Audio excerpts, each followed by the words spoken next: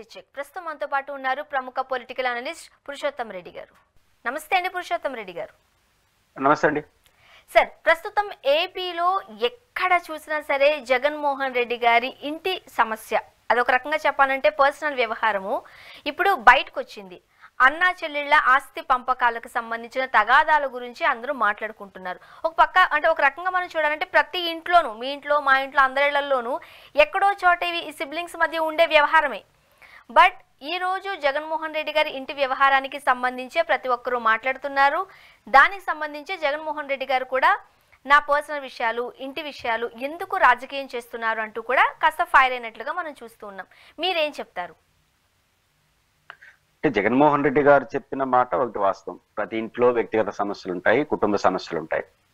కానీ మనలాంటి వాళ్ళ ఇంట్లో ఉండడానికి జగన్మోహన్ రెడ్డి గారి ఇంట్లో ఉండడానికి తేడా ఉండదు కానీ ప్రాధాన్యతలో తేడా ఉంటుంది. మనం సాధారణ వ్యక్తులుగా మన ఇంట్లో సమస్యలు ఉంటే పర్సనల్ అనుకుంటారు. ఒక పర్సనాలిటీస్ సినిమా స్టార్స్ కొనేవాళ్ళు లేకపోతే సెలబ్రిటీస్ కొనేవాళ్ళు పొలిటికల్ లీడర్గా ఉండే వాళ్ళకి అది ప్రచారంలో వస్తాయి. ఎందుకంటే వాళ్ళు సమాజాన్ని ప్రభావితం చేసే వ్యక్తులు కావడం. దానితో పాటు వీళ్ళు రాజకీయ ప్రత్యర్థులు కూడా ఉన్నారు కాబట్టి దాని ప్రాధాన్యత మరింత పెరిగిపోయింది. కానీ జగన్మోహన్ రెడ్డి గారి ఆవేదన యాక్సెప్ట్ చేయొచ్చు. అదేంటంటే వారు రాజకీయ విమర్శ చేశారు. ప్రధానంగా ఉత్తరాంధ్ర జిల్లాలో దళేరి బాధితో పరామర్శకు వెళ్ళారు. వారికి రెండు లక్షల రూపాయల ఆర్థిక సాయం ప్రకటించారు. దాంతోపాటు కీలకమైన విషయం కూడా ప్రస్తావించారు. అదేంటంటే మెడికల్ కాలేజ్. ఎందుకంటే ఈరోజు మెడికల్ వైద్యం అనేది ప్రతి పేదవాడికి ప్రతి గ్రాస్ రూట్ లెవెల్లో వెళ్ళపోవడానికి ఒకటి. కారణం మెడికల్ విద్యార్థులు తక్కువ ఉండడం డాక్టర్లు తక్కువ ఉండడం హాస్పిటల్స్ తక్కువ ఉండడం. నేను దాదాపు జిల్లాకు ఒకటి హాస్పిటల్ తెచ్చే ప్రయత్నం చేశాను. ఆల్రెడీ ఐదారు హాస్పిటల్ రన్లో ఉన్నాయి. ఈ సంవత్సరం ఐదారు హాస్పిటల్ గవర్నమెంట్ సెక్టార్లో వస్తుంటే మాకు వద్దని వీళ్ళు లెటర్లు రాశారు. అక్కడ పులివెందల సమస్య నడుస్తుంది.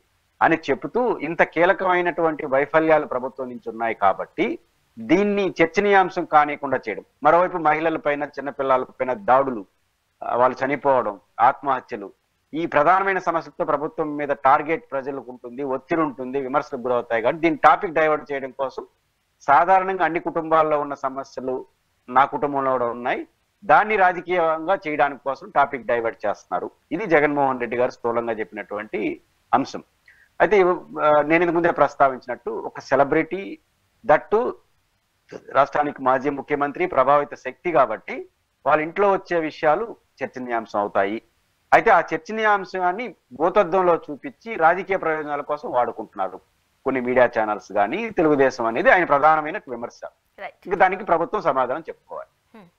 ముఖ్యంగా అంటే పర్సనల్ విషయాలను మరీ ముఖ్యంగా ఈ టైంలో ఎందుకు రాజకీయం చేస్తున్నారు అనుకోవాలి ఇది ఇది ఒక రాజకీయ లబ్ధి కోసం వాడుకుంటున్నారని మనం గెస్ చేయొచ్చా? అనొచ్చా? రాజకీయ పార్టీ అన్న తర్వాత ఒక సంఘ సంఘటన జరిగిన తర్వాత దాని రాజకీయ ప్రయోజనాల కోసం వాడుకుంటాయి. దానికి ఒక మోతాదు మించి కూడా కొన్ని రాష్ట్రంలో కొంచెం మోతాదు మించుతుంది. ఇప్పుడు జగన్మోహన్ రెడ్డి గారు డైలేరియా ఒక తీవ్రమైన సమస్య. దాంతో బాధితులు పరామర్శించారు పరామర్శించే రాజకీయ విషయాలను ప్రస్తావించాడు. ఈ ప్రభుత్వం వైఫల్యాలు ప్రభుత్వం చేతగానతనం అని ప్రశ్నించారు అదే అది కూడా రాజకీయ పరం అట్లాంటి రాజకీయాలు చేయొచ్చు తప్పేం లేదు. కానీ కుటుంబంలో ఉన్నటువంటి ఒక సాధారణ విషయాన్ని అసాధారణ విషయంగా మార్చి లేని విషయాన్ని ముందుకు తీసుకొస్తున్నారనేది వారి ప్రధానమైన విమర్శ. అంటే రాజకీయంగా ప్రభుత్వ వైఫల్యాలపైన వస్తున్న విమర్శలకి సమాధానం చెప్పలేక టాపిక్ డైవర్ట్లో భాగంగా ఇది చేస్తున్నా ఆయన విమర్శ చేస్తున్నారు. ఖచ్చితంగా ఇది కూడా ప్రభావితం అవుతుంది. ప్రజలు ఆలోచిస్తారు కదా నిజం ప్రభుత్వం వైఫల్యాలు పరిష్కారం చేస్తూ జగన్ గారి మీద విమర్శిస్తే యాక్సెప్ట్ చేస్తారు. పరిష్కారం కాకుండా దీని టాపిక్గా మార్చుకున్నారు అనుకోండి ప్రజలు ఖచ్చితంగా జగన్ గారి అంశాన్ని ముందుకు తీసుకొస్తారు. అండ్ జగన్మోహన్ రెడ్డి గారు నేషనల్ కంపెనీ లా ట్రిబ్యునల్కి లేఖ రాయడం జరిగింది. మీరేం చెప్తారు? ఆ లేఖ సారాంశం గురించి ఏమంటారు? ఇప్పుడు రెండు మూడు ఛానల్స్ నిన్నటి నుంచి బిగ్ బ్రేకింగ్ పేరుతో శర్మిల గారు జగన్ గారికి రాసిన లెటర్ని మేము కనిపెట్టాము అని బిగ్ బ్రేకింగ్ పేరుతో నిన్నటి నుంచి హడావుడి చేస్తున్నారు. దానికి వాళ్ళు చెప్తున్న పాయింట్ కూడా ఏంటంటే జగన్మోహన్ రెడ్డి గారు శర్మిలాకి లేఖ రాస్తే దానికి కౌంటర్గా శర్మిలా గారు లేఖ రాశారు దాన్ని మేము బ్రేక్ చేసాము అంటున్నారు.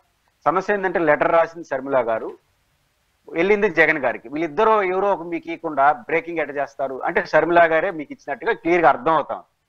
దీంట్లో దురుద్దేశం ఉందని ఎందుకు అంటానంటే సబ్జెక్ట్లో పోయే ముందు ఇప్పుడు శర్మిలా గారికి జగన్ గారు షరతుతో కూడిన లెటర్ రాశాడు అని అన్నారు కదా మరి ఆ లెటర్ కూడా పక్కన పెట్టచ్చుగా?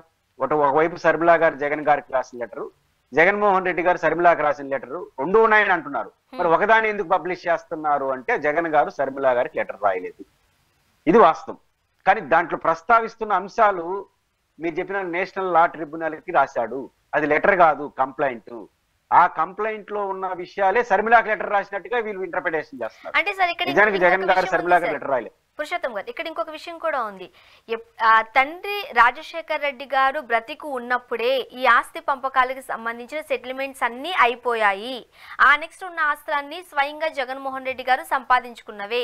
తను తన చెల్లికి ఏదన్నా గిఫ్ట్ రూపంగానో ఇంకో రూపంగానో ఇస్తే ఇవ్వచ్చు కానీ నెక్స్ట్ ఉన్న ఆస్తిలో షర్మిల గారికి ఎటువంటి భాగము లేదు అని క్లియర్గా చెబుతూ జగన్మోహన్ రెడ్డి గారు షర్మిల గారికి ఒక లెటర్ రాశారు అనేది సారాంశంగా కూడా చూస్తూ ఉన్నాం. ఒక్క లెటర్ కూడా శర్మిలా గారికి నేరుగా జగన్ లెటర్ రాయలేదు. జగన్ ఏదైతే నేషనల్ లా ట్రిబ్యునల్కు ఫిర్యాదు కంప్లైంట్ చేశాడో దాంట్లో ఉన్న అంశాలు కొన్ని రాంగ్ ఇంటర్ప్రిటేషన్ చేస్తూ లేని విషయాలు కొన్ని దాన్ని తగిలించి రాసేశారు. నేను ఆ విషయాలు ఎందుకు చెప్తున్నానంటే రెండు పాయింట్లు ఉన్నాయి. జగన్ గారు రాశారని చెప్తున్నారు లెటర్లో దాన్ని నమ్మశక్యం కాదు. ఎందుకు కాదు అంటే వీళ్ళు ప్రచారమే. అంటే జగన్ గారు ఆమెకు లెటర్ రాశాడు కొన్ని సరతో పెట్టాడు. అదేంటంటే మా శ్రీమతి భారతి గారి దృష్టిలో దోలికి రావద్దండి అవినాష్ రెడ్డి జరగడానికి నన్ను రాజకీయంగా ఇబ్బంది పెట్టద్దండి అని రాస్తూ మా నాన్న అయితే మన నాన్న అది అన్ని రాశాడు అని చెప్పారు. అవేం రాయలేదు ఆయన. ఎవరైనా నన్ను రాజకీయంగా ఇబ్బంది పెట్టద్దని రిటర్న్గా లెటర్ రాస్తారా? తన ప్రత్యర్థికి. ఆమె బయట పెడుతుందని తెలుసు కదా. పైపించి జగన్ మొండోడు. ఆయన ఎదుర్కొంటాడు తప్ప ఇట్లా వాటిని కేర్ చేయడు. అలా ఆయన ఆయన లెటర్ రాశాడు కాలబేరానికి పోయి పైపిచ్చు ఆమె చేయాల్సిన నష్టం ఇరవై నాలుగులో చేసేసింది. ఇంక కొత్తగా ఆమె ఏం చేసే నష్టమే లేదు. కాబట్టి ఇది ఒక అంశం. రెండో జగన్ గారు ఎందుకు ఫిర్యాదు చేశాడు? శర్మిలా గారు చెప్తున్నట్టుగా రాజశేఖర రెడ్డి గారు మనవళ్ళు మనవరాలకి సమానంగా ఆస్తులు పంపమన్నారు. ఈ రెండింటి మధ్య కాంట్రడిక్షన్ ఉంది. ఇప్పుడు రాష్ట్రంలో జరుగుతుంది. ఈ రెండింటిని వేరువేరుగా చూడాలి. కానీ కొన్ని మీడియా సంస్థలు జగన్ గారు చెప్తున్నట్టు ఆయన వాళ్ళని రాజకీయ ఇబ్బంది పెట్టడం కోసం రాంగ్ ఇంటర్ప్రిటేషన్ చేస్తున్నాయి. ఫస్ట్ ఏమంటారు? ఇప్పుడు లా ట్రిబ్యునల్కి ఎందుకు రాశారు లెటర్ జగన్మోహన్ రెడ్డి గారు వారి తండ్రి రాజశేఖర రెడ్డి గారు ఇద్దరు పిల్లలు జగన్ గారు అండ్ శర్మిల గారు. మీ ఇంట్లోనైనా మా ఇంట్లోనైనా పిల్లలు సమానంగా ఎదగరు ఒక. పిల్లవాళ్ళు బాగా ఎక్స్పోజ్ అవుతారు ఇంకొకరు అంటారు. ఏ తండ్రి అయినా మీ తండ్రి అయినా మా తండ్రి అయినా పిల్లలు ఒక పిల్లవాడు బాగా వందల కోట్లు సంపాదించా అనుకున్నాం. వ్యాపారాల ద్వారా కావచ్చు ఏ రకంగా ఆయన సంపాదించు. ఇంకొక పిల్లోడు సరిగ్గా సంపాదించకపోతే తండ్రి వచ్చి కూర్చుంటే అందరూ సమానంగా చేసుకున్న ఆయన అంటాడు. ఇది ఏ తండ్రి అయినా చెప్పే లాజిక్ అది జరగదు. కుటుంబాలు విడిపోయిన తర్వాత ఎవరి కెపాసిటీ వాళ్ళదే. ఇప్పుడు దానికి ఉదాహరణ ఏం చెప్తానంటే ఇప్పుడు జగన్మోహన్ రెడ్డి గారి ఆ కాల రాజశేఖర్ బతుకుండగా ప్రారంభించిన వ్యాపార సంస్థలు. అది సాక్షి కావచ్చు సరస్వతి సండూర్ కంపెనీ కావచ్చు అన్ని సంస్థల్లో నాకు మన మన పిల్లలు అంటే మీకు ఇద్దరు అమ్మాయిలు నాకు అబ్బాయి అమ్మాయి నలుగురికి సమానంగా చేసేది అంటుంది ఆమె. మరి జగన్ గారి కేసులు కూడా సమానంగా పంచుకోవాలి కదా. ఇప్పుడు ఆ కంపెనీలతోనే జగన్ గారి కేసులు పదహారు నెలలు జైలు ఉండదు దాంట్లో ఎనిమిది నెలలు అన్న ఎనిమిది నెలలు చెల్లెల్లో ఉండొచ్చుగా. మరి జగన్ గారికి ఎందుకు కేసులు అయినాయి? శర్మిలా గారు ఆస్తుల్లో వాటా అడుగుతున్నారు. కేసుల్లో కూడా వాటా తీసుకోవచ్చు కదా. ఎందుకు జరిగిందని ఈ పాయింట్ క్రూషియల్. ఎందుకంటే అది జగన్ గారు సొంతంగా స్థాపించిన కంపెనీలు అదే జగన్ గారు చెప్తా ఉండేది. నాన్న ద్వారా వచ్చినటువంటి వారసత్వం పనిచేసినాము. ఇది నేను సృష్టించినటువంటి నేను కష్టారిత పెట్టుకున్న కంపెనీల్లో వచ్చిన ఆదాయం నేను నీకు నీకు ప్రేమతో ఇవ్వాలే తప్ప దబాయింపు కుదరదు. అది జగన్ గారు చెప్తా ఉండేది. సార్ ఇక్కడ ఇక్కడ ఇంకొక లిటికేషన్ కూడా మనం చూస్తూ ఉన్నాం. ఇప్పుడు జగ జగన్మోహన్ రెడ్డి గారు చెబుతూ ఉన్నట్టుగా రాజశేఖర్ రెడ్డి గారు బ్రతికి ఉన్నప్పుడు వీళ్ళ ఆస్తుల లెక్కెంత ఇప్పుడు వందల వేల కోట్లు అంటూ మనం ఏవో లెక్కలు చూస్తున్నాము ఒక నంబర్ కూడా చూస్తూ ఉన్నాం. మరి ఇన్ని ఆస్తులు ఎలా సంపాదించారు? ఎక్కడి నుంచి వచ్చాయి? సో ఇది కూడా ఇప్పుడు ప్రజల ముందు పెట్టాల్సిన అవసరం ఉంది. ఈ లెక్క కూడా తేలాల్సిన అవసరం ఖచ్చితంగా ఉంది అంటూ కూడా ఒక వార్త చూస్తున్నాం మీరేం చెప్తారు? జగన్ ముఖ్యమంత్రిగా ఉన్న కాకముందే ఆయన పెద్ద వ్యాపారస్తుడు.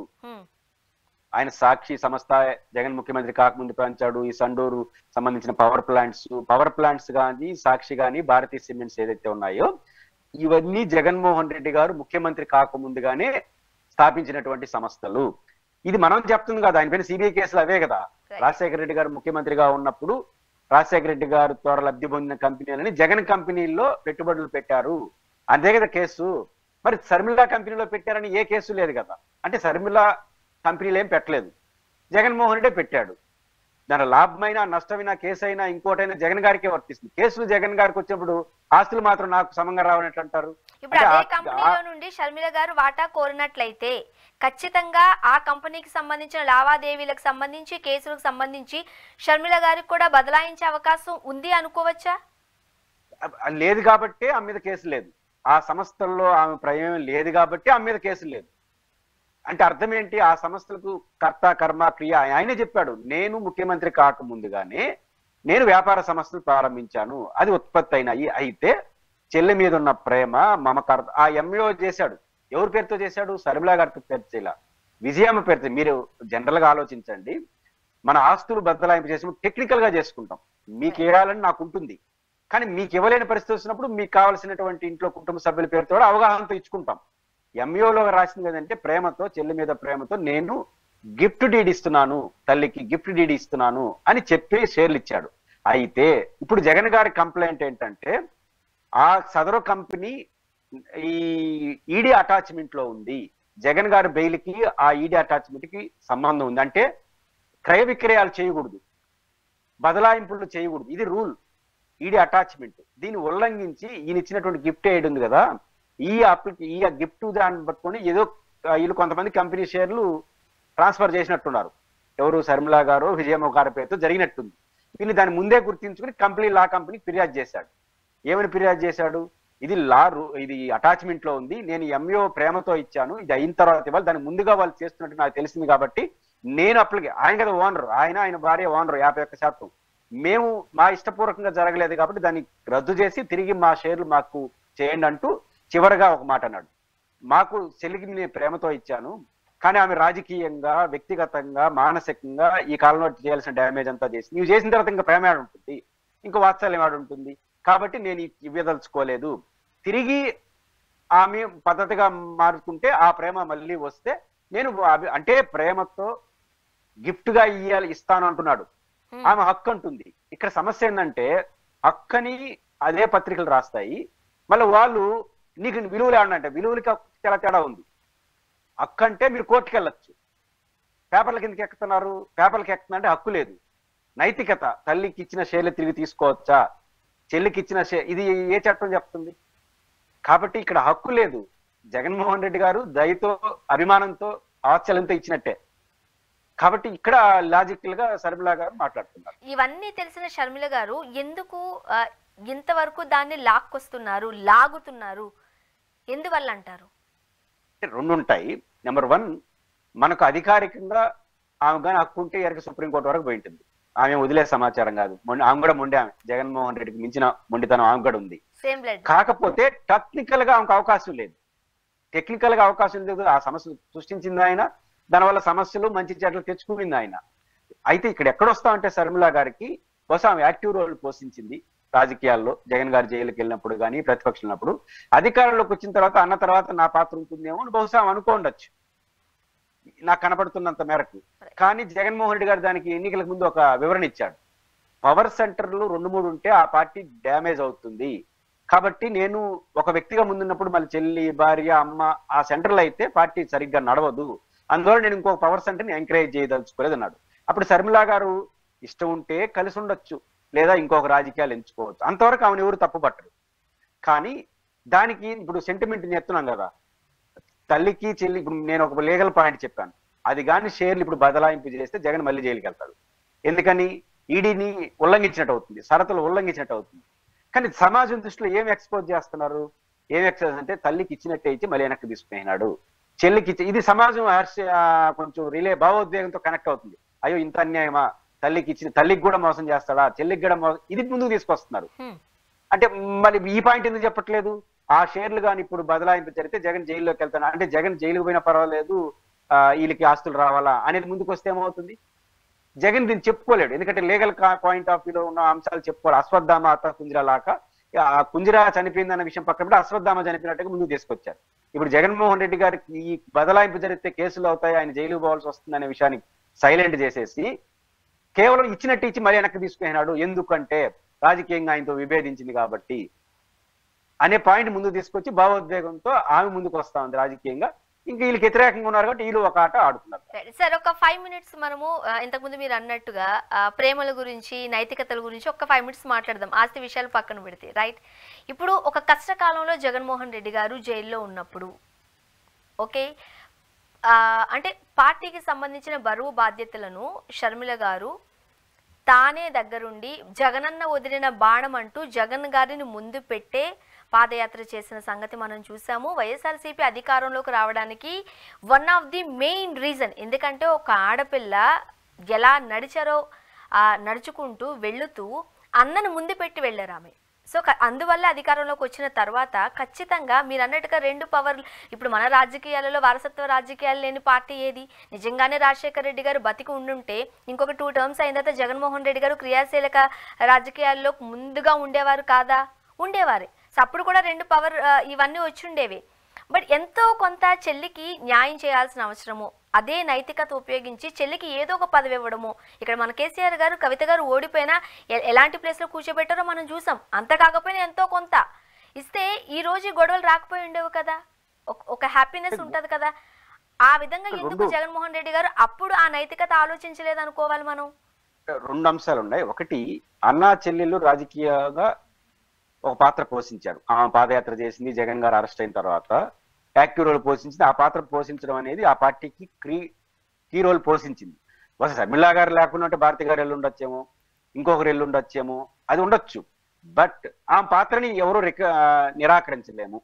ఇది వాళ్ళిద్దర వ్యక్తిగత సమస్య. ఇప్పుడు శర్మిలా గారు ఎందుకు వచ్చారు? రేపు పవర్ వస్తే వాటా కోసం రేపు పవర్ వస్తే ఆస్తుల కోసం అని ఎన్నికల్లో చెప్పలా. వైఎస్ రాజశేఖర రెడ్డి గారి యొక్క ఆశయాలను కొనసాగించడం కోసం ప్రజలకు సేవ చేయడం కోసం అని చెప్పారు. మరి అన్న సేవ చేస్తున్నా మనం మౌనంగా ఉండొచ్చు కదా? ప్రజలకి సేవే కదా? అన్న చేస్తున్నాడు అనుకోవచ్చు. కాబట్టి ఇక్కడ పాయింట్ ఏంటంటే వాళ్ళిద్దరు ఏం మాట్లాడుకున్నా మనకు తెలియదు అన్న జైల్లో ఉన్నప్పుడు చెల్లెలు ఆమె యాక్టివ్ రోల్ పోషించింది. పోషించేటప్పుడు అన్న నేను యాక్టివ్ రోల్ పోషిస్తున్నాను. రేపు అధికారం వచ్చిన తర్వాత మీరు నేను అవగాహనతో చేద్దామని అనుకున్నారా? లేదా అన్న నేను నేను ఏదో వ్యాపారాలు చేసుకుంటాను. మీరు రాజకీయాల్లో ఉండండి. ఏదో నేను చేయగలిగిన సహాయం ఏదో చేస్తానని చెప్పారా? మనకు తెలియదు వాళ్ళిద్దరు ఏం మాట్లాడుకున్నారో. చెప్పాలి శర్మిల గారు. అన్నే కదా పక్కన పెట్టేస్తారేమో అని కూడా అనుకుని ఉండకపోవచ్చు. ఏదో ఒక ఏదో ఒక లబ్ధి లేకుండానే ఇంత కష్టపడతారా? ఏదో ఒకటి ఆశిస్తారు కదా. హ్యూమన్ హ్యూమన్ సైకాలజీ అది. నేను వీఆర్ నాట్ అగైనెస్ట్ బట్ మీరిద్దరు ఏం మాట్లాడుకున్నారో ఊరికి తెలియదు. ఆయన రెండు పవర్ సెంటర్లు వద్దు అంటున్నాడు. ఇప్పుడు ఆమె ఏమంటుంది? నీకు అంతకన్నా పవర్ సెంటర్ ఇంట్లో ఇంట్లో ఉంది అంటుంది. అంటే భారతి గారిని దృష్టిలో పెట్టుకొని. కాబట్టి భారతి గారు ఇన్ఫ్లుయెన్స్ చేస్తాం జగన్మోహన్ రెడ్డి ఆయన భార్య కాబట్టి ఎవరు ఇన్ఫ్లుయెన్స్ చేస్తారు? కాబట్టి భార్య భర్తలు ఖచ్చితంగా ఒకరినొకరు ఇన్ఫ్లుయెన్స్ చేసుకుంటారు. పాయింట్ ఏంటంటే ఈ అసహనం ఎక్కడికో దారి తీస్తా ఉంది. ఆ దారి తీసే క్రమంలో ఆమె రెండు పద్ధతులు ఉన్నాయి ఒకటి జగన్మోహన్ రెడ్డి గారితో ఇంట్లో ఉండే సమస్య పరిష్కరించుకుంటారా? లేదా జగన్మోహన్ రెడ్డి గారిని రాజకీయంగా దెబ్బకొట్టి తన తడాకేమో చూపించారు రెండు మార్గాలు ఉండేది ఎవరికైనా. మీరు రాజకీయంగా తడాక చూపించాలని నిర్ణయించుకున్నారు. అందులో ఫస్ట్ అక్కడ పోయి తెలంగాణలో పార్టీ పెట్టారు. అది వర్కౌట్ కాలా మళ్ళీ నేరుగా ఆంధ్రప్రదేశ్లో వచ్చారు. ఇక్కడ కాంగ్రెస్ పార్టీ అధ్యక్షులు అయిపోయినారు. వడివడిగా వేసేస్తున్నారు అడుగులు. వెంటనే జగన్ నేరుగా వివేకానంద రెడ్డి కేసుని తీసుకొచ్చేసినారు. అంటే ఎక్కడో శర్మిలా గారు తన అసహనాన్ని తన బాధను తన కోపాన్ని ఆ రాంగ్ రూట్లో వెళ్ళిపోతుంది పర్సనల్ ఇప్పుడు కుటుంబంలో ఆస్తి తగాదాన్ని రాజకీయాల్లో చేర్చకూడదు. ఇది మెయిన్. ఆమె ఆమె ఎక్కడ ఫెయిల్ అయిందంటే తప్పు ఒప్పు రాజకీయాల్లో. నైతికత ఏముండవు. మెయిన్ రీజన్ ఏంటంటే జగన్మోహన్ రెడ్డి గారి యొక్క భావోద్వేగంతో ఉన్న ఇంటి సమస్యను ఈదిలో సమస్య చేస్తే సమాజం అంగీకరించదు. జగన్మోహన్ రెడ్డి గారికి రాజకీయంగా ప్రత్యామ్నాయంగా ఎదగాలి ఎదిగి దెబ్బ కొట్టాలి కొట్టదలుచుకుంటే. దాన్ని వదిలేసి నాకు ఆస్తి రాసి అంటే బహుశా దీనికేం పార్టీ పెట్టింది అనుకోరా జనం? రైట్ మీరు పార్టీ పెట్టింది దేనికి? ఎస్ అండ్ ఇక్కడ మనం విజయమ్మ గారు ఒక కీలక పాత్ర పోషించాల్సిన అవసరం ఉన్నట్లుగా కూడా మనం చూస్తున్నాం. ఎప్పుడైతే పార్టీకి పెద్దగా ఉన్న విజయమ్మ గారు కూతురు పార్టీ వైపు వెళ్ళడానికి ఇష్టపడినప్పుడు ఒక మంచి మాట మాట్లాడారు. రైట్ అది అందరి అంటే సభాముఖంగా తెలియచేశారు. నాకు ఇద్దరు బిడ్డలు రెండు కళ్ళు లాంటివారు. ఇప్పటి వరకు ఒక కన్నుకు నేను తోడుగా ఉన్నాను. ఇప్పుడు ఇంకొక కంటికి నా అవసరం ఉంది కాబట్టే ఇష్టపూర్వకంగా ఈ పదవికి రాజీనామా చేసి నా కూతురికి సపోర్ట్ చేయాలనుకుంటున్నాను అని చెప్పారు. రైట్ ఇప్పుడు అదే రెండు కళ్ళ మధ్య కన్నీరు కారుతున్నట్లుగా మనం చూస్తున్నప్పుడు ఎందుకు ముందుకు రావట్లేదు? ఎందుకు ఏ కంట నుంచి వస్తున్న నీరును తొడవలే తొడవడానికి ప్రయత్నించట్లేదు? ఎట్లా అర్థం చేసుకోవాలి? విజయమ్మ గారి పరిస్థితి ఒకవైపు బా ఆమె పెయిన్ని మనం అర్థం చేసుకోవాలి. అట్ ద సేమ్ టైం ఈ సమయంలో ఆయన ఆమె వ్యూహాత్మకంగా అడుగు లేకపోతే ఆమె కూడా వివాదాల్లో తిరుక్కుంటారు. విషయం ఏంటంటే తల్లి అయినా తండ్రి అయినా ఇంటికి పెద్ద. రాజశేఖర రెడ్డి గారు లేరు చనిపోయారు. కాబట్టి శర్మిల గారికి జగన్ గారికి పెద్ద ఎవరు అంటే ఈరోజు విజయమ్మ గారు వాళ్ళ తల్లి. అయితే ఇద్దరు పెద్దోళ్ళు అయిపోయినారు. పిల్లలు పెళ్ళిడికి వచ్చేసారు కూతురు కూతురు కూతురు అయితే పెళ్ళి కూడా చేసుకుని త్వరలో ఆమె కూడా బామ్మ అయిపోతుంది. జగన్ గారు కూడా త్వరలోనే తాతో ఏదో అవుతాడు. ఇట్లాంటి దశకు వచ్చేసిన లెవెల్కి పిల్లలు ఎదిగిపోయిన తర్వాత వాళ్ళని కంట్రోల్ చేసే పని కానీ వాళ్ళని సమయం చేసే పరిస్థితి మనకు ఉంటుందా లేదో తల్లిదండ్రులు ఆలోచించుకోవాలి. ఇప్పుడు విజయమ్మ గారు రాజకీయంగా నిర్ణయాలు తీసుకుంటున్నారు వీళ్ళు. జగన్మోహన్ రెడ్డి గారు శర్మిల గారు. ఈ రాజకీయ నిర్ణయాలు తీసుకుంటున్న కొడుకుని కూతుర్ని కంట్రోల్ చేసి దబాయించే పరిస్థితిలో విజయమ్మ గారు లేరనేది మనకు క్లియర్ అర్థమవుతోంది. అనేక కారణాలు అది విజయమ్మ గారు తప్పు అది ఎదిగిపోయారు పిల్లలు. ఎదిగిపోయిన తర్వాత మనకేం పని? ఎదిగిపోయారు. ఈ టైంలో ఎవరిది తప్ప అని మీరు భావిస్తే వాళ్ళ వైపు నిలబడవచ్చు.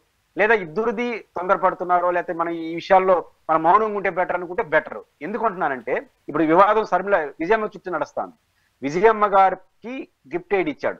ఎవరు? జగన్ గారు. అక్కడ మనకు ఎంఓలో ఉన్నది విజయమ్మ పేరు.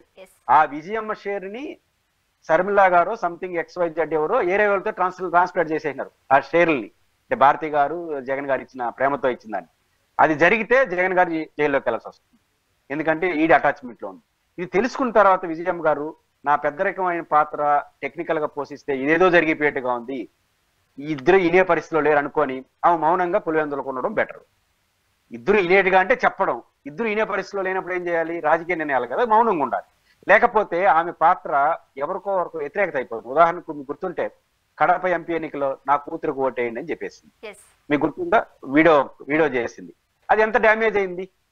ఆ కూతురినే ఓడిచ్చేసినప్పుడు రాజశేఖర రెడ్డి భార్య ఇచ్చిన పిలుపుని ప్రజలు స్వీకరించలేదనేది ఎంత అవమానం? ఎందుకంటే జగన్ రాజశేఖర రెడ్డి గారి రాజకీయ వారసులుగా సమాజం జగన్ గుర్తించేసింది. ఒక ఇంట్లో ఎంతమంది ఉంటే అంతమందిని సమాజం గుర్తించదు. ఇప్పుడు రామారావు గారికి వారసులు ఎవరు? అంటే అప్పట్లో వివేకానంద రెడ్డి గారి హత్యకి సంబంధించి కూడా ఆ ఇన్ఫ్లుయెన్స్ బాగా పనిచేసింది ఎక్కడో.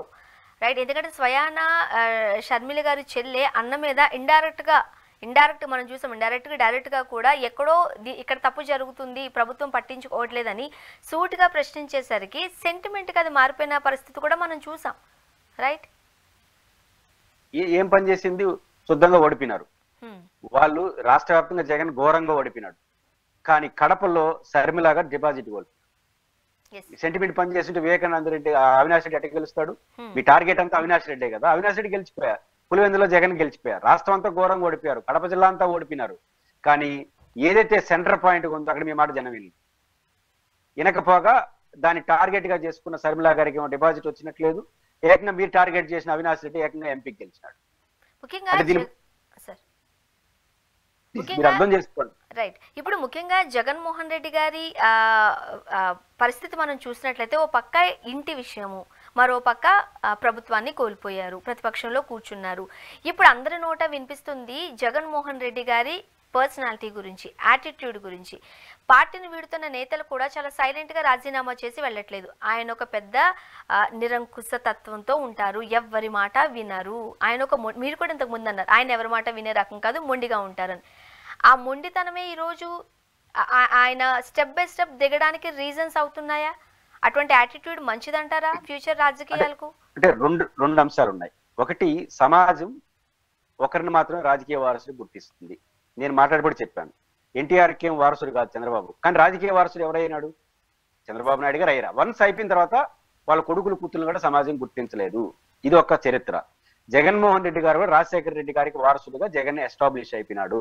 ఇంకా ఆయన ఫెయిల్ అయితే తప్ప వీళ్ళెవరు గుర్తించరు. తల్లిని చెల్లిని ఎవరిని గుర్తించరు? ఒకరినే గుర్తించే సమాజం. మీ ఇంట్లో వాళ్ళందరినీ గుర్తించిన సమాజంకి అంత ఒప్పుకుండదు ఇది ఫస్ట్ పాయింట్. రెండో పాయింట్ ఏంటంటే జగన్ గారి క్యారెక్టర్ ఇప్పుడు వస్తున్న ఇబ్బందులు. మీరు మహేష్ బాబు పాపులర్ సినిమా హిట్లన్నీ చూడండి అత్యంత బాగా హిట్ అయింది పోకిరి. కానీ నిజానికి నా దృష్టిలో పోకిరి అంత అంత దాంట్లో అర్థం పర్థం లేని సినిమా అది. పోకిరి అంత పెద్ద సినిమా. కానీ సూపర్ హిట్ అయింది. కానీ జగన్మోహన్ రెడ్డి రాజకీయాల్లో పోకిరిలో మహేష్ బాబు క్యారెక్టర్. అంటే అంటే దాని సమాజం హర్షిస్తా ఉంది. ఇది నేను చెప్పడం కాదు మహేష్ బాబు చెప్పినాడు. ఆ పోకిరి విజయవంతంలో ఈ పోకిరి సినిమా చూసి జగన్ గారు నాకు ఫోన్ చేసి రమ్మన్నాడు. బాగా ఇంప్రెస్ అయినాను ఇంప్రెస్ అయినా కనెక్ట్ అవుతా ఉంది. కాబట్టి పోకిరిలో ఉన్న సారాంశం ఏంది? నేను అనుకున్నది చేస్తా. నేను నేను నమ్మిందే. నమ్ముతా. ఏ రిస్క్ అయినా తీసుకుంటా. నేను నేనే. ఇది సమాజం కోరుకుంటా ఉంది. జగన్మోహన్ రెడ్డి లాంటి వాళ్ళ నుంచి సమాజం ఏం కోరుకుంటే ఈయన అనుకున్నది చేస్తాడు. అనుకున్నది మంచి కూడా కావచ్చు కాబట్టి జగన్మోహన్ రెడ్డి గారు పోకిరిలో మహేష్ బాబు క్యారెక్టర్ సినిమా రాజకీయాల్లో ఈయన అట్లా. కాబట్టి సమాజం దాన్ని ఆయన హీరోయిజం కూడా అదే. కానీ కొన్ని సందర్భాల్లో అది ఎదురు దెబ్బలు కూడా తగలుతాయి. ఓటమిలో గబ్బలో. అయితే వెళ్ళిపోతున్న వాళ్ళకి సంబంధించి వెళ్ళిపోతున్న వాళ్ళందరూ అధికారం ఉన్నప్పుడు జగన్ దేవుడు అన్నారు. ఓడిపోయిన తర్వాత దెయ్యం అంటున్నారు. కాబట్టి ఆ మాటలకు విలువ లేదు. అయితే జగన్మోహన్ రెడ్డి గారు ఆత్మ పరిశీలన చేసుకోవాల్సింది వాళ్ళ గురించి కాదు. ఇప్పుడు వాళ్ళంతా వెళ్ళిపోతున్నప్పుడు సమాజంలో ఉన్న కేటర్ కూడా మిమ్మల్ని రాజశేఖర రెడ్డి గారి లాగా మాతో ఉండాలని కోరుకుంటున్నారు. అక్కడ జగన్ ఫెయిల్ అయ్యాడు. ఆ ఫెయిలింగ్ కానీ సార్ రాజశేఖర్ రెడ్డి లాగా శ్రేణుల పట్ల ప్రేమ అభిమానాలు జగన్లో లేవు. శ్రేణులను పట్టించుకోవట్లేదు. ఆయన చుట్టూ ఉన్న కేటగిరీ ఎమ్మెల్యేల క్యాండిడేట్లు ప్రజల్ని జన కేడర్ని పట్టించుకోవట్లేదు. మేము నష్టపోయి ఉంటాడు చూడు ఆ ఒక్కటి మాత్రం జగన్ లోపం ఉంది. లేదా కొంతమందితోనే మాట్లాడు ఆ చుట్టూ కోటరీ కొంతమంది. ఆ కోటరీ వాళ్ళు ఘోరంగా విఫలవడం ఈ రెండు సరిదిద్దుకుంటే జగన్కి ఏ సమస్యలు రావు. అండ్ రాజశేఖర్ రెడ్డి గారు మనం చూసినప్పుడు ఎప్పుడు అది ఎలాంటి సిచ్యువేషన్ అయినా నాకు బాగా గుర్తున్నాయి ఇది. చిన్నగా ఉన్నప్పటికీ కూడా. ఆయన్ని చూడగానే ఆయన ఎలా ఎలాంటి పరిస్థితులు అనేవి తెలియదు బట్ ఎప్పుడు ఫేస్ మీద ఒక మంచి స్మైల్ ఉంటుంది. చిన్నపిల్లలు నవ్వుతూ ఉండే అందం ఉన్నట్టు కనిపిస్తూ ఉంటుంది. అండ్ ఇంకొకటి ఆయన అటైర్ ఎప్పుడు పంచకట్టులో తెల్లటి వస్త్రాలతో నవ్వుతూ పక్కోళ్ళందరినీ పలకరిస్తూ మాట్లాడుతూ ఉండేది. దానికోసమే ఆయనకి చాలా మంది ఫ్యాన్స్ అయిపోయారు అభిమానులు అయిపోయారు ఆయన మరణం తర్వాత జీర్ణించుకోలేక చాలా మంది చనిపోయారు. ఆ నవ్వు దృష్టిలో పెట్టుకుని ఆహారం దృష్టిలో పెట్టుకుని అంటూ ఉంటారు. బట్ ఆ కంపారిజన్ జగన్మోహన్ రెడ్డి గారిలో మనం చూసినప్పుడు ఆయన నవ్వితే చాలు అదొక ఫేక్ స్మైల్ ఆయన నడిస్తే చాలు ఏదో ఊహించుకుంటూ. సో అంటే చాలా మనకి ఒక నెగిటివ్ కమెంట్స్ చూసాం. మనం రాజశేఖర్ రెడ్డి గారు వర్సెస్ జగన్మోహన్ రెడ్డి గారు అని అనుకుంటే అది కూడా ఆయనకు మైనస్ అనుకోవాలా? అంటే జగన్ ఇక్కడ రెండు ఉన్నాయి జగన్మోహన్ రెడ్డి రాజశేఖర్ రెడ్డి గారి క్యారెక్టర్కి డిటోనే పర్సనల్గా యాజ్ ఏ హ్యూమన్ బీయింగ్గా. ఆయన బాగా ప్రేమిస్తాడు ఆయన స్మైల్లో ఎక్కడ నటన ఉండదు. అయితే సమస్య జగన్ ఎవడు కలవట్లేదు. ఇప్పుడు ఆయన బాగా ప్రేమిస్తాడు. ఎప్పుడు ప్రేమ అందుకోగలను నాతో? నేను కలిస్తేనే కదా ప్రేమ నీ ప్రేమ నేను పొందగలను. అసలు నువ్వు కలవకపోతే ప్రేమ ఎట్టుంటుంది? ప్రేమ మనసులో పెట్టుకుంటే లాభమే ఉంది. జగన్మోహన్ రెడ్డి ప్రేమిస్తాడు అభిమానిస్తాడు సాయం చేస్తాడు. వాళ్ళ ఆయనకన్నా బాగా చేస్తాడు. సమస్యలో వాళ్ళ ఆయన లాగా ఎవరిని కలవట్లేదు. ఆయన వంద మందిని కలుస్తాడు రోజు. కానీ ఈయన ఎవరిని కలవడు? నలుగురినే కలుస్తాడు. ఆ నలుగురు మీ టార్గెట్ని రీచ్ చేయట్లేదు. పైపించి మీకు సమస్యగా మారిపోతున్నారు. కాబట్టి రాజశేఖర రెడ్డి గారికి జగన్ ఒకే ఒక తేడా. జగన్ రాజశేఖర రెడ్డి గారు అందరినీ కలుస్తాడు అందరి మాట వింటాడు అందరితో ఎక్కువ షేర్ చేస్తాడు. జగన్మోహన్ రెడ్డి గారు కొందరితోనే కలుస్తాడు కొందరి మాట వింటాడు ఎక్కువ మందిని కలవడు. ఇది ఒక్కటే జగన్మోహన్ రెడ్డి గారికి రాజశేఖర రెడ్డికి ఉన్నటువంటి తేడా. ఇంకొక చెప్పాలంటే కోటరీ వాళ్ళే జగన్మోహన్ రెడ్డి గారిని బయటికి రానివ్వరు. లోపల కూర్చుని మేటలు నొక్కించడంలోనే సకల శాఖ మంత్రిగా పేరు తెచ్చుకున్న ఒక వ్యక్తి దీని కారణం పతనానికి కారణం అంటూ ఇప్పుడు వార్తలు చూస్తున్నాం. నిజమేనా? ఆ కోటరీలోని వ్యక్తులే ఈ రోజు జగన్మోహన్ రెడ్డి పరాజయానికి మెయిన్ రీజన్ అనుకోవచ్చా? అన్నిటికీ కారణం జగన్నే. వీళ్ళందరూ వీళ్ళందరూ ఏమీ చేయలేరు. పోస్ట్ మ్యాన్ డ్యూటీ చేయడం తప్ప జగన్మోహన్ ఇట్లాంటి టైప్ క్యారెక్టర్ పోయి వీళ్ళు నిర్దేశించగలరా? వీళ్ళు కట్టేస్తే ఉంటాడా? ఆయన ఉండాలనుకున్నాడు. ఇప్పుడు బయట వచ్చేస్తున్నాడు ఎవడు అడ్డుకున్నాడు? ఆయన అడ్డుకునే సమాచారం ఎవరికి లేదు. సమస్య ఏంటంటే ఈయన ఇంట్లో ఉండాలనుకున్నారు దానికి కొంచెం పెంచారు అంతే తప్ప జగన్ గారు బయటికి రావాలంటే ఇలా అడ్డుకునే వాళ్ళు కాదు నిలవరించే వాళ్ళు కాదు. కానీ జగన్ ఎవరు ఆపరు. సమస్య ఏంటంటే జగన్మోహన్ రెడ్డి ఉన్న ప్రధానమైన సమస్య ఏంటంటే వైఎస్ రాజశేఖర రెడ్డి కన్నా పోరాటం చేయడంలో తండ్రికి మించిన తనయుడు. కానీ ప్రేమించడంలో తన వాళ్ళని కలుసుకోవడంలో తండ్రికి తగ్గ వారసుడు కాదు. ఆ ఒక్కటి మార్చుకుంటే మీరు అన్నట్టు ఆయన లోపల ఉంటే వీళ్ళు కప్పేటేసినారంటే ఆయన ఉండాలనుకున్నాడు వీళ్ళు కప్పారు. ఆయన ఉండాలి ఉండకూడదు అనుకుంటే వీళ్ళు దరిదాపులో కూడా ఉండలేరు. వాళ్ళ చుట్టూ ఉన్న వాళ్ళు ఎవరు? జగన్ లాంటి క్యారెక్టర్ చెప్పారు కదా మహేర్ బాబు మహేష్ బాబు పోకిర్లో క్యారెక్టర్ అని. ఆయన ఎవరు అడ్డుకున్నారు ఆ సినిమాలో? ఈయన కూడా అంతే. రాజకీయాల్లో ఈయన అనుకున్నది చేస్తాడు. అనుకున్నది ఇంట్లో ఇంట్లో కూర్చోవాలనుకున్నాడు జనంలోకి రాకూడదు అనుకున్నాడు ఇంకా ఇదే మంచి అవకాశంగా తీసుకుని చుట్టుపక్కల వాళ్ళందరూ ఎవరు రానికుండా ఇంకొంచెం పెద్ద కంచి అంతే తప్ప ఆయన ఉండాలనుకున్నాడు కాబట్టి వీళ్ళు కంచేశారు. ఆయన ఉండదలుచుకుంటే వీళ్ళు దరిదాపులో కూడా ఉండరు. ఆ లైన్ తీసుకోవడంలో జగన్మోహన్ రెడ్డిలో వైఫల్యం కనిపిస్తా ఉంది. అండ్ ప్రస్తుతానికి ఇంట్లో ఆయన పరిస్థితి కాస్త ఇబ్బందికరమైన పరిస్థితులు అంటే ఇంటిలో నుంచే ఆయనకి మనం చూస్తూ ఉన్నాం. ఇక బయట కూడా పరిస్థితి కూడా కాస్త కష్టంగానే ఉంది. ఈ టైంలో మెంటల్గా ఎమోషనల్గా జగన్మోహన్ రెడ్డి గారు స్ట్రాంగ్గా ఉండే అవకాశం ఉందా? సో ఒకవేళ ఆయన వీక్ అయిపోతే అదే అధికార పక్షానికి ఒక బలమైన ఆయుధంగా మారే అవకాశం లేకపోలేదా? జగన్మోహన్ రెడ్డి ఇంట్లో ఒంటరి కాదు. శర్మిలా గారు వ్యవహారం అటుంది. ఇంట్లో ఆయన భార్య ఆయనకు ఒక అసట్టు ఆయన జగన్మోహన్ రెడ్డి గారి కన్నా ఆమె చాలా స్ట్రాంగ్. కాబట్టి ఆయనకి ఇబ్బంది ఏం లేదు. ఇంట్లో పిల్లలు అందరూ చాలా స్ట్రాంగ్గా ఉంటారు. సమస్య ఏంటంటే ప్రజల్లో ఇంకా స్ట్రాంగ్. ప్రజల్లో ఆయనకి ఏమి లేదు. ప్రజల్లో ఘోరాతి ఘోరంగా ఓడిపోయాడు మొన్న ఎన్నికల్లో. ఎన్ని ఓట్లు వచ్చాయి? ఒక కోటి ముప్పై రెండు లక్షల ఓట్లు వచ్చినాయి. అంటే ఘోరంగా ఓడిపోయినానికి ఒక కోటి ముప్పై రెండు లక్షలు పెద్ద విజయం సాధించిన ముగ్గురికి ప్రధానమంత్రి నరేంద్ర మోడీ పవన్ కళ్యాణ్ చంద్రబాబు అందరూ కలిస్తే ఒక కోటి ఎనభై లక్షలు. అంటే ఇద్దరి మధ్య యాభై లక్షలే. ముగ్గురు కలిస్తే ఒక కోటి ఎనభై ఒకే ఒక్కడికి ఒకటి ముప్పై రెండు. కానీ జనంలో జగన్ వీక్ కాదు. ఇంట్లో భార్య భర్త ఇద్దరు స్ట్రాంగ్. ఒకటే ఒక దాంట్లో వీక్.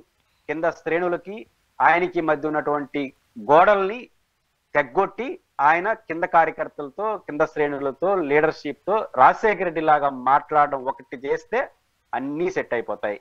ఇంతకు మించిన సమస్య జగన్మోహన్ రెడ్డి గారికి అయితే ఏమీ లేదు. అండ్ ఇప్పుడు షర్మిల గారిని ఎలా శాంతింప చేయాలంటారు? ఇంతకుముందు మీరు అన్నట్టు ఈ విజయమ్మ గారు ఇప్పుడు ఈ పరిస్థితుల్లో మాట్లాడకుండా సైలెంట్గా ఉండడమే మంచిది. షర్మిల గారా? చెప్పిన మాట వినేలాగా కనిపించట్లేదు. జగన్మోహన్ రెడ్డి గారా? కాస్త దూకుడుగా వెళుతున్నారు. వీళ్ళు కేసులు వేసుకుంటున్నారు దీనివల్ల ఏంటి? ఎక్కడో చోట ఫుల్ స్టాప్ పెడితే మంచిది కదా. అంటే ఇలాంటి సమస్యలు వచ్చినప్పుడు ముఖ్యంగా ఇంట్లో పెద్దవారు కావచ్చు లేకపోతే రాజకీయ పండితులు కావచ్చు ఎవరైనా సమస్యను పరిష్కరిస్తూ ఉంటారు కూర్చుని మాట్లాడుకుంటుంటారు కొన్ని కొన్ని చట్టాల వరకునో కేసుల వరకునో కాకుండా పెద్దల మధ్య కూర్చుంటే సమస్యకు పరిష్కారం దొరుకుతుంది. అలా ఎవరూ లేరా? అంటే ఇప్పుడు నేను వింటున్నాను కాబట్టి మీరు ప్రశ్నలు వేస్తున్నారు. నేను లేకపోతే మీరేం ప్రశ్నలు వేస్తారు. అంతే కదా. కాబట్టి వీళ్ళిద్దరు ఇనేట్టుగా అంటే ఎవరో ఒకరు పెద్ద మనిషి వహిస్తారు. ఆ ఇనే సమాచారం ఆయన ముఖ్యమంత్రి ఇంకో ఆమె నేను అంతకన్నా పెద్దామని అనుకుంటుంది కాబట్టి వాళ్ళిద్దరిది కాలమే పరిష్కరించుకోవాలి. అయితే మనం అందరూ ఎవరైనా సరే కుటుంబంలో అన్నా చెల్లి సమస్య వస్తే బాగుండాలని కోరుకుంటాం. అంతవరకు నో నో ప్రాబ్లం. కానీ ఎవడు పరిష్కరించే సమస్య కాదు. వాళ్ళిద్దరూ చాలా పవర్ఫుల్ లీడర్స్ మెచ్యూర్డ్ పర్సన్స్ ఒక ఆయన ముఖ్యమంత్రి అయిపోయినాడు. ముఖ్యమంత్రి అయితే రాష్ట్రానికి నెంబర్ వన్ ఇంకా వాళ్ళకన్నా మించిన వాళ్ళు ఉన్నారు? కాబట్టి వాళ్ళ ఇంట్లో పరిష్కరించుకోవాలి. వాళ్ళిద్దరూ మార్పు చెందితే ఆ సమస్య పరిష్కారంగా లేకపోతే కాలం పెద్ద పరిష్కారాన్ని చూపిస్తుంది. చూద్దామండి. ఖచ్చితంగా అన్న చెల్లెలు మళ్ళీ కలుసుకోవాలి మంచిగా ఉండాలి. ఎందుకంటే ఎవరే ఇప్పుడు రాజకీయాలు పక్కన పెట్టేసి ఏ ఇంట్లోనైనా సరే అన్న చెల్లెలు కావచ్చు అన్న తమ్ముళ్ళు కావచ్చు ఇలాంటి గొడవలు లేకుండా హ్యాపీగా ఉండాలని కోరుకుంటాం కాబట్టి జగన్మోహన్ రెడ్డి గారి పర్సనల్ విషయంలో మనం ఈ విధంగా ఆలోచిద్దాం. తొందరలోని సమస్యలన్నీ పరిష్కృతం అవ్వాలి అని మనస్ఫూర్తిగా కోరుకుందాం. థ్యాంక్ యూ సో మచ్ అండి పురుషోత్తం రెడ్డి గారు. మీ అభిప్రాయం మాతో పంచుకున్నారు. Thank you very much.